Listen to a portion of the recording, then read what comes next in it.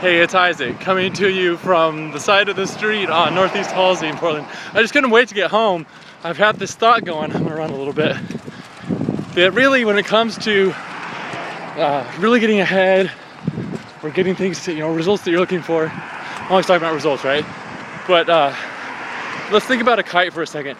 There's really only two ways for a kite to fly, you know? Either a nice breeze or a strong gust of wind, or a lot of running, which I'm doing a bit of this morning. But either way, a kite can take off.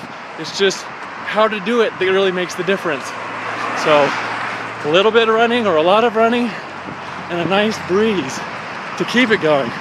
That's my thought for right now. I just wanted to share with you now. So I remember to get it recorded before I get home.